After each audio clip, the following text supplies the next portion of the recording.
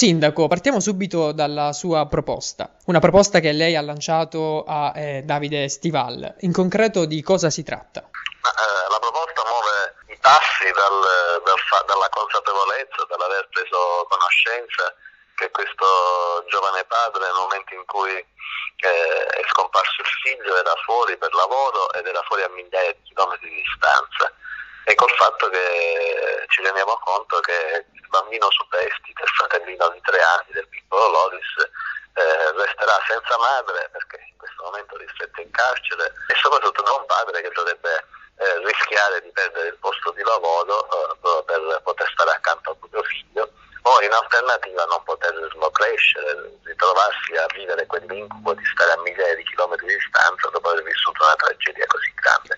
Quindi diciamo che abbiamo pensato principalmente al bambino piccolo che, eh, a cui dare, dare, la vicinanza di un padre, dare questa possibilità. Eh, noi come sindaci non possiamo dare lavori a chiamata diretta, uh-huh. eh, non abbiamo questa possibilità ovviamente per legge, la legge ci impone eh, ovviamente regole come giusto che sia rigorosissime, soprattutto in materia di lavoro. Sola possibilità che è quella di chiamare al nostro fianco nei nostri uffici di staff eh, pochissime persone che sono dei collaboratori politici più stretti. Il lavoro è quindi nell'ufficio di staff del sindaco del, del comune di Vittoria, nell'ufficio di gabinetto.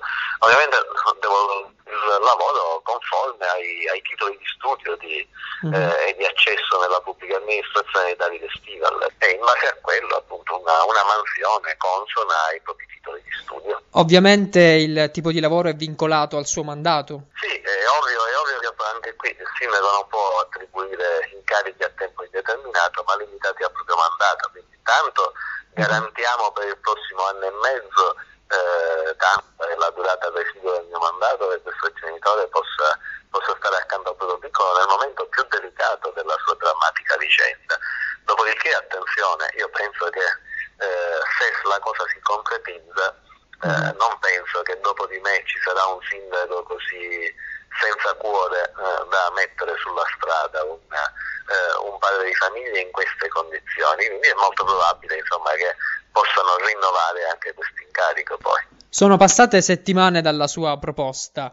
Eh, che riscontro ha avuto da parte sia di Davide Stival che del suo avvocato? Si sono mossi, vi siete sentiti, avete raggiunto un semi-accordo? Sì, mi sono sentito col suo legale con cui appunto da cui insieme abbiamo partorito questa, questa mm-hmm questa possibilità proprio durante il funerale ci siamo intrattenuti del bambino e appunto mi ha espresso questa fortissima difficoltà di questo genitore che era intenzionato a licenziarsi e non sapeva come mm-hmm. poi poter alimentare e sfamare la propria famiglia. Siamo rimasti appunto che intanto io predisponevo gli atti presupposti per poterlo, per poterlo fare, dentro il mese di gennaio mi avrebbero fatto sapere se era una cosa che interessava e che appunto per, proprio per mancanza di altre possibilità eh, o, oppure meno. Eh, mi hanno già subito esternato, appunto il legale Scrofa mi ha esternato subito eh, la contentezza e il senso di gratitudine appunto perché nell'immediato avere questa, questo salvagente, questa possibilità